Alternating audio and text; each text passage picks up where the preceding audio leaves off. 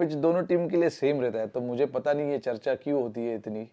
दोनों टीम एक ही वही पिच पे खेलते हैं और अगर लोग बात करते हैं कि पिच ऐसा नहीं होना चाहिए, वैसा नहीं होना चाहिए बट पिच इंडिया में सालों से पिच ऐसे ही बनते आ रहे हैं, बनते आ रहा है और मुझे नहीं लगता है कि कुछ चेंजेस हुआ है या कुछ चेंजेस होना चाहिए।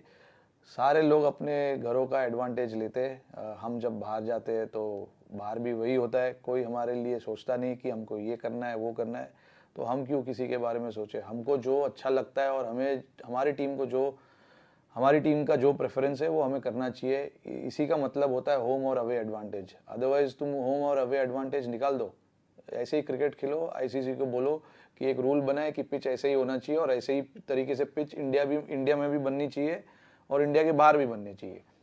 बट जब हम बाहर जाते हैं तो लोग भी वहाँ पर आ, हमारा लाइफ डिफ़िकल्ट करते हैं। तो मुझे नहीं लगता है कि पिचेस के बारे में ज़्यादा चर्चा करनी चाहिए। गेम के बारे में चर्चा करो प्लेयर के बारे में चर्चा करो कि प्लेयर कैसे बैटिंग कर रहा है प्लेयर बॉल कैसे डाल रहा है। उसके बारे में चर्चा होएगी चलो ठीक है। बट पिचेस के बारे में नहीं होना चाहिए क्योंकि पिचेस में दोनों टीम खेलती है और दोनों टीम में जो अच्छा खेलेगी वो वो वो मैच जीतेंगे। एज अ बैट्समैन मैं भी यही चीज़ पे फोकस करता हूँ कि अगर जैसा पिच है, उस पिच की तरीके से आप अपने माइंड को प्रिपेयर कीजिए।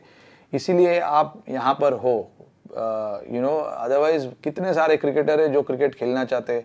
आप यहाँ पर इसीलिए बैठे हो क्योंकि आप ये सब जो कंडीशंस है, उसको अच्छे तरीके से समझते हो। इसीलिए आप चुने जाते हो इंडिया के लिए, खेलने के लिए। तो आई थिंक हमें वो स्किल सेट और जो माइंडसेट है, वो यहाँ पर ऐसे टाइम ऐसे मौके पर दिखाना चाहिए जहाँ पर चैलेंजिंग कंडीशंस हो। आप, हालाँकि आप there are chances that you will fail but it doesn't doesn't it doesn't matter as long as you learn from that तो हमारी टीम के लिए भी यही है। हमारी टीम ऐसे कंडीशंस में खेलना बहुत पसंद करती है, जहाँ पे सारे चीज़ तुम्हारे अगेंस्ट हो।